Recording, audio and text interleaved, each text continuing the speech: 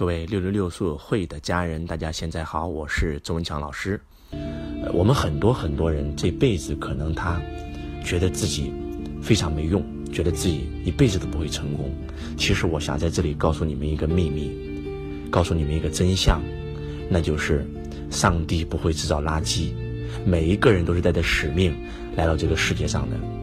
你是独一无二的，你之所以没有成功，是因为。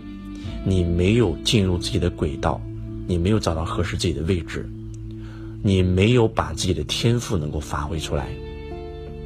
记得在周老师十七岁的时候，我在工地上班，那个时候我也觉得我很没用，我也觉得我就来自社会的底层，我可能要像在工地上的很多工人一样打工打一辈子。我也甚至想过自杀，我也觉得人生看不到希望。我的父亲负债几十万，我一辈子都还不完。他被公安局带走了，然后判了五年。我的母亲在田里面种地，呃，兼职打三份工还债。我觉得那个时候我的人生是黑暗的。但是因为周老师是河南人，然后我们河南有一个频道叫河南都市频道。呃，我记得那个时候我看到一个广告，就是河南都市频道的一个广告，广告语是这么写的：人生就是一个舞台，每一个人都是这个舞台上的主角。只是你还没有找到属于你的舞台，只是你还没有找到适合你的角色。周老师以前从小都是一个很自信的人，但是你们知道吗？当那年我在工地的时候，我真的很自卑，我真的没有自信了，我被生活压垮了，我被生活打垮了。我在学校里面的时候是孩子王，几十个兄弟跟着我后面，然后就特别有那种感觉。但是我到工地，我发现。我一整年的时间几乎没怎么说过话，因为都是年龄比我大很多的，压根就没有共同语言。我在工地几乎那一年就是一种快被窒息的状态。在周老师讲我故事的里面，我有深刻的讲到周老师在工地里面吃过了太多太多的苦，但是就是因为那一句话，我找到了自信。我告诉我自己，我之所以在工地里面，我觉得我干什么都干不好，是因为我压根就不适合这个角色。所以我要换角色，我要换舞台，我要找到属于我的那个舞台。然后呢，周老师就开始想：穷人为什么穷？因为是靠体力赚钱，我要靠脑力。然后我做了个决定，我一定要把我赚的钱全花掉，我要投资脖子以上。我只是做了一个这样的决定啊。然后呢，那个时候我就回家了，腊月二十三号回家过年。在我们家里面有一个电脑的学校，当时特别火，因为那个时候在两千零三年的时候，电脑刚刚兴起嘛，很多电脑培训班。然后就在我们的农村集会上，我收到一张传单，传单上面印了一句话：“知识改变命运，学习改变人生。”就是当周老师看到这句话的时候，我觉得电脑未来一定是趋势，我就找我的母亲，我告诉我母亲说我要去学电脑，学费刚好就是我那年打工的整年的收入，叫四千三百块钱，我记得非常清楚，打工赚了四千三，学费刚好四千三，真的就像老天爷给我的指引一样，我至今家里还留着我交四千三的那个收据，然后。我母亲不同意，我是离家出走去上的学，因为我很清楚，如果我不离家出走，我将一辈子在工地，这不是我想过的人生。我希望能够找到属于我的舞台，然后我就开始学了电脑。我学了电脑以后我就出去，然后做工作，然后去洛阳，然后去深圳，然后去郑州，然后去北京，几乎是走南闯北吧，也做过很多很多的工作。最开始就是在电脑行业，在 IT 界。后来呢，又进入了金融界，做项目工程，又做明星代言，又做房地产，就是做了很多很多行业吧。就是为什么说没有大成呢？我觉得我是没有找到我的那个轨道，我还没有找到我的那个天赋。其实，什么是天赋？说白了就是你的擅长。在这个世界上，要想成功非常简单。周老师讲过一个金字塔，叫做必成功金字塔。换句话讲，人生最大的成功就是踏对节拍。当你能够踏对这四个节拍的时候，人人都可以成功。我们必成功金字塔的第一塔叫做做有感觉的事儿，做让你爱的事儿。也就是，如果你这做这件事儿，你压根儿就没感觉，你很讨厌做这件事儿，你一上班就像死一样，一上班就像坐牢一样。这件事你再有能力、再擅长、再有天赋，你都不可能做成功。举个例子吧，一个长方形它的面积等于什么？长乘以宽。所以长是什么？长就是你的优势。宽是什么？宽就是你的爱好程度。我记得在西方管理学里面讲到一个经典的理论，叫做短板理论。西方企业管理者告诉我们说，啊，一桶水啊，能够装多少水，取决于最短的那个板。所以要找到自己的缺点。然后呢，短板理论害死人啊，亲爱的同学们，真的，周老师就是短板理论的这个受害者啊。凡是依靠短板理论的人，到最后都不会成功。甚至提出短板理论的人，就是为了祸国殃民，就是来害我们中国人的，真的是这样子的。呃，记得周老师当年在郑州做销售的时候，我的老板特别赏识我。然后呢，周老师也是行业 number one 第一名，top sales 销售冠军。但是我的老板告诉我说：“文强啊，你要想大成，你要改一个缺点。你的最大的缺点是什么？你知道吗？你脾气太不好，太暴躁，你无法沉静下来。然后我就要改脾气啊。”我连续改了半年，知道吗？想发火就憋着，你知道吗？我都快憋死了。有一次，周老师去北京啊，我在北京学习的那一段时间，我经常跑到北京大学去蹭课。白天在中关村上班，然后晚上的时候呢不吃饭，六点钟一下一下班，马上坐公交车去到北大，从北大西门跑到北大东门需要走二十多分钟时间。周老师和当年周老师的女朋友，今天的老婆杨老师一起。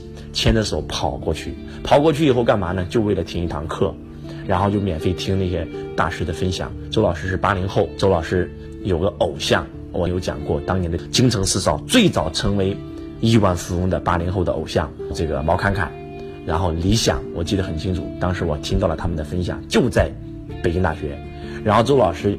就是提问的时候，就像今天你们跟周老师提问一样，你们知道吗？为什么让你们互动？互动的内容真的很重要。有可能你问周老师一个问题，周老师给你一点拨，真的，你这辈子就瞬间改变命运了。真的就是周老师就是因为理想的那个点拨，让我瞬间改变命运，真的就是这样，毫不夸张。叫做读万卷书不如行万里路，行万里路。不如名师指路，真的就是高人点拨一下，那就不一样。周老师就抢啊，抢机会啊，所以你们听周老师的分享一定要提问呐，对吧？发评论啊，周老师可以一对一，万一点中你呢，选中你呢，对不对？就像今天我讲天赋篇，就是一个同学给周老师提出来的概念，让周老师讲嘛，对不对？周老师只讲你们想听的，不讲我想说的啊。我们又回到这个故事啊，周老师在讲故事的时候，你们一定要认真听，因为听我的故事，理解你们的人生，一转身为自己所用。然后就变成了你的故事，所以说一定要认真听啊。然后周老师就提问啊，周老师互动提问，这个李总，我的这个脾气很暴躁，如何改变我的这个脾气？然后李想就说了一句话，说你为什么要改你的脾气呢？我要成功啊。他说，请问有没有这个世界上脾气很暴躁人成功的？我说有。他说有没有很沉静成功的？我说也有。他说人不同的人有不同的性格。每一个人都可以成功。他说有一本书叫《性格决定命运》，这句话全扯淡。为什么？因为如果性格决定命运的话，那这个世界上是不是只有这一种性格的人可以成功呢？但是我们发现，所有性格人都有可能成功啊！九型人格，每种人都有成功的可能性啊。他说：“记住，每一个人都有缺点，高手永远不看自己的缺点，因为看缺点会让你越看越自卑。”他说：“高手只看自己的优点，找到自己的优点，把它发挥到极致。”亲爱的同学们，你们一定要记住这句话，把这句话写下来，叫做“成功最快的方法就是找到自己的优势，把它发挥到极致，就这么简单。你压根就不用看你的缺点。”有一句话叫做“没有完美的个人，只有完美的团队”，什么意思啊？每一个人都有缺点，人无完人，金无足赤。那你有缺点，对吧？你的优点就是进攻。你的训练就是防守，你不会防守，你只会进攻。练防守，你练一辈子也练不出来，那怎么办呢？你直接就把自己的优势发挥到极致，你就进攻，不用去防守，你就找一个最会防守、不会进攻的人，你们两个人一合作，你们就是世界上最完美的团队。这就是没有完美的个人，只有完美的团队。所以，必成功金字塔的第一塔就是做自己爱的，第二塔就做自己擅长的。这件事，如果你不爱你再擅长都没有用。这件事如果又爱又擅长，那你做起来那绝对很轻松，一点累都没有，像玩儿一样，真的就是这样这样子的。然后第三塔叫做有意义。如果你做那件事是坑蒙拐骗，对吧？你再爱再擅长没有用，对吧？第四趋势，如果你今天做的这件事是你爱的，又是你擅长的，又有意义，又有趋势，你此生做必成。举个例子，你们拿钟老师这必成功金字塔去套全世界所有的成功人士，都知道刘翔吧？刘翔是干啥的？刘翔最早是做百米赛跑的，跑了 N 年没有跑出个名堂。有一次就有一个教练说：“祥子，我觉得你的优势不是在百米赛跑。”我觉得你应该去试一试一个运动叫跨栏。刘翔那个时候压根就没这么想过啊，他也没怎么见过跨栏。结果当他真的去跨栏的时候，他一跨的第一秒，他真的深深的爱上了跨栏。他觉得这东西太好玩了，比那百米赛跑好玩多了。他爱上了跨栏这个运动。第二，他真的把他的优势发挥了出来。第三。他发现那件事太有意义了，因为他一跨栏，一不小心就在雅典奥运会上夺了冠军。你们知道为什么当年刘翔夺冠，在这个项目上夺冠，为什么会引起全世界的轰动吗？亲爱的同胞们，因为在这个田径项目上，已经是将近一百多年以来，应应该是自古以来有奥林匹克运动、有奥运会以来，就压根从来没有黄种人，也就是亚洲人在这个项目夺冠，一般都是非洲人、黑人。夺冠，中国从来没有过，没有，这不是中国，是整个亚洲从来没有过。而刘翔破了整个全世界的纪录，他是第一个华人在这个项目夺冠的。当他站上领奖台，当中国的国歌因他响起，当他披上中国的五星红旗的时候，他觉得这件事太有意义了。这件事不单是他能够赚多少钱，他实现了他的人生价值啊。真的，你们走到异国他乡，听到中国的那个我们的国歌声，那是无比的骄傲。而且这个国歌是因你放的，那是什么样的感觉？周老师去日本，去日本木之原市参观企业学习，然后日本的这个木之原市的市长，对吧？升中国国旗来迎接周老师，那种感觉那是绝对不一样的。然后这件事，而且又有趋势，因为体育强则国强嘛，国家也在大力发展体育，所以刘翔才会成功。所以。刘翔就是因为这样成功的。那姚明呢，也是一样啊。他爱打篮球，他擅长打篮球啊，所以他成功了。那迈克尔·杰克逊如果做生意，他一定亏钱。但是迈克尔·杰克逊就爱唱歌，对吧？他一拿起麦克风就是神，他一放下麦克风都不会说话，跟三岁小孩智力差不多。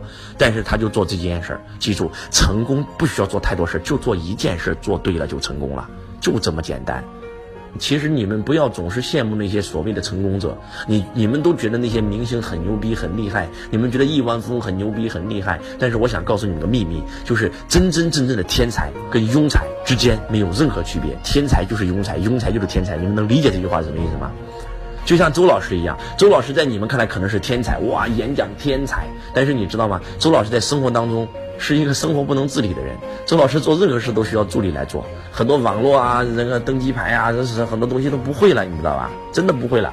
就是这个人在一方面很厉害，在另外一方面一定是一塌糊涂的。这不是给大家开玩笑的，真的是这样子的。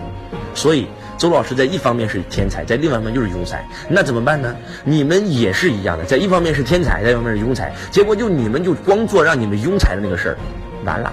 天才那个事你一辈子都没有找到他，你没有去做那件事所以你一辈子就只能活成庸庸碌碌的庸才，就这么简单。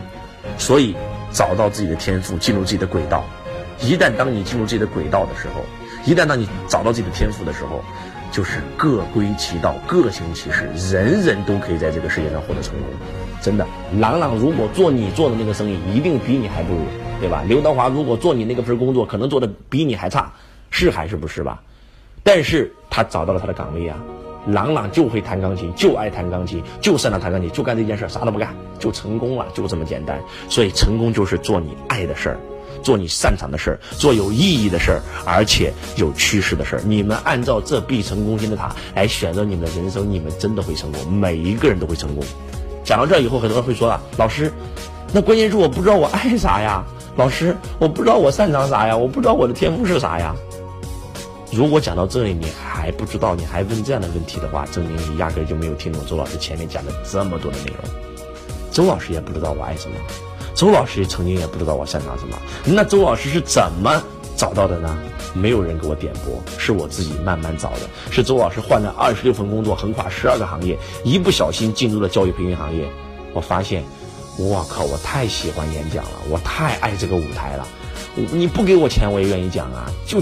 觉得这是一种自己的爱好啊，结果讲着讲着发现，这不但是我爱的，而且是我擅长的，我能够把我的天赋瞬间发挥出来。原来周老师就是这样的，口才就是周老师的天生优势。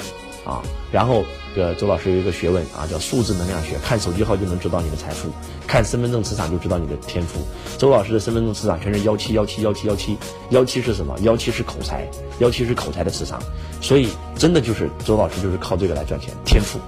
然后周老师一做培训，发现这是我爱的，又是我擅长的，而且又有意义，能够帮到别人。听过我的课程，可以帮助他们成功。周老师做培训做了七年以来，帮助无数人实现财富自由，太多了，有意义，而且有趋势，国家大力支持。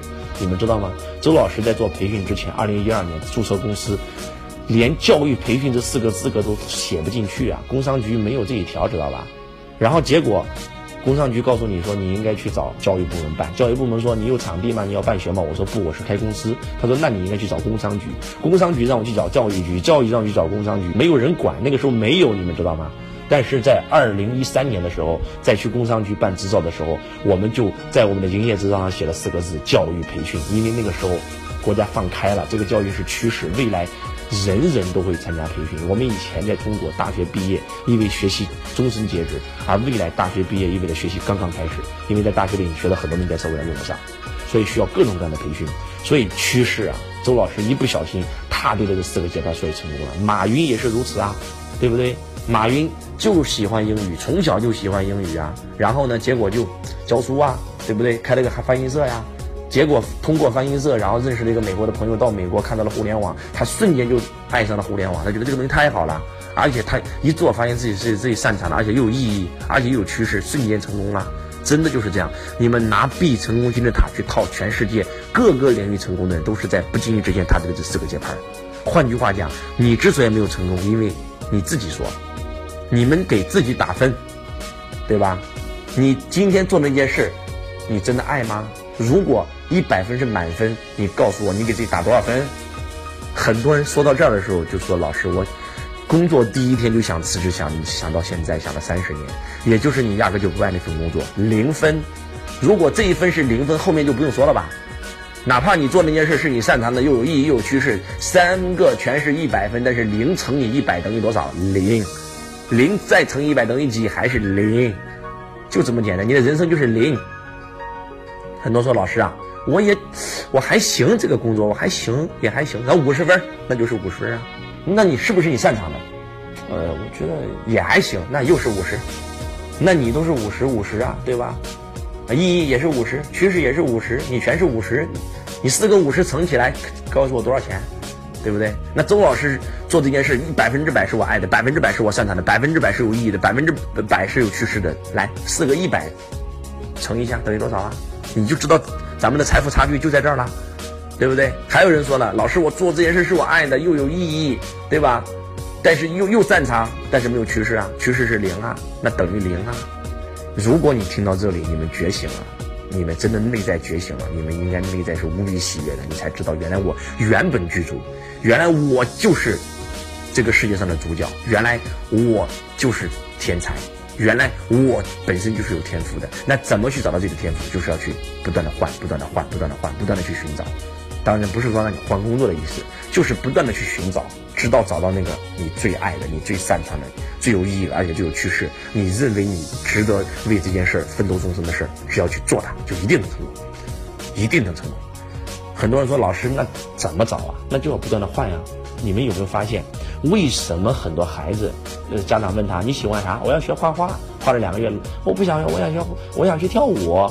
然后你那你去吧。然后又教练，我我我想练钢琴。后来很多父母说怎么说？滚，好好上学吧，啥都别学了，他妈学学一半就放弃了。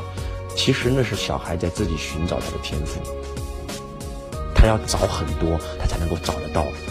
而这个时候家长说。停，不让他找的时候，你就限制了他这辈子可能都无法找到他的天赋。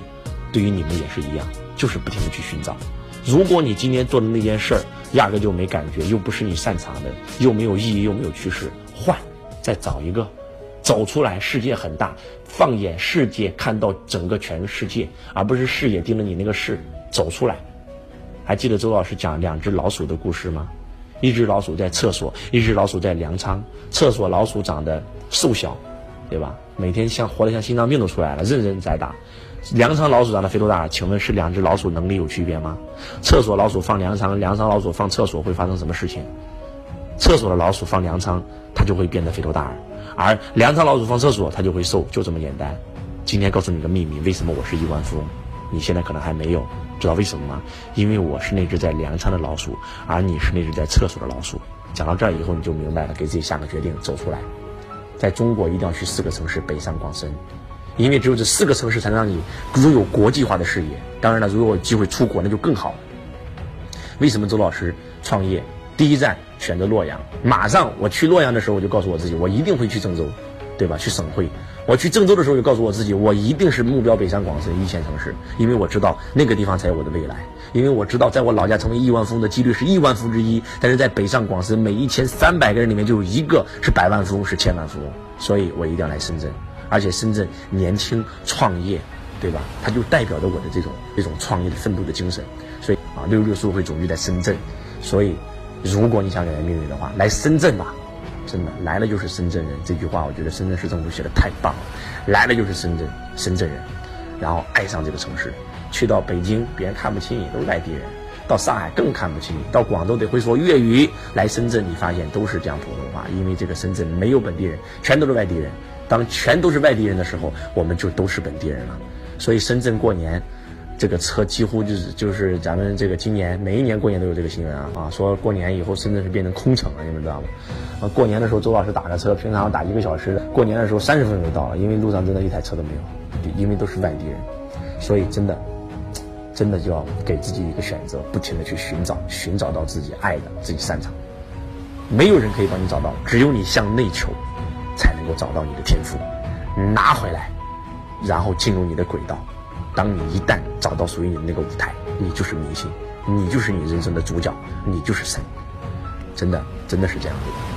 当然了，如果有机会的话，来到周老师的会场，周老师会教你一系列的内容，教你向内求，啊，教你打坐啊，教你静心啊，教你能够通过我们的各种课程的设计，让你向内求，链接高我，让你找回你自己，找到你的天赋。